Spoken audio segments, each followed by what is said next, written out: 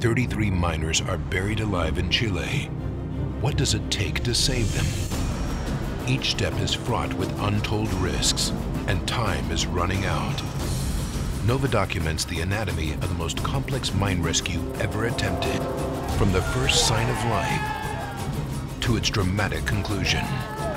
Emergency Mine Rescue on NOVA.